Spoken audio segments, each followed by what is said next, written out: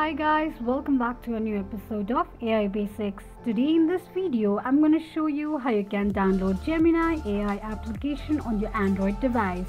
Keep watching the video till the end. To download your Gemini application on your Android device, firstly go ahead and launch open your Play Store.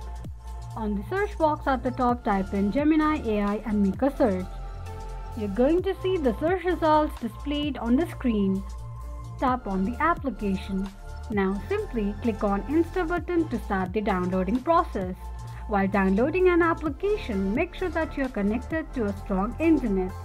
Once the application is downloaded, tap on Open button to launch the application.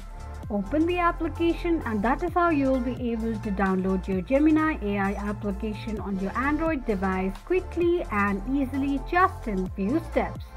If you have any thoughts or queries, let us know in the comment section. Don't forget to subscribe to our channel. Also press the notification bell icon so that YouTube will notify you whenever we post a new video. I hope this video was helpful to you. Thank you so much for watching.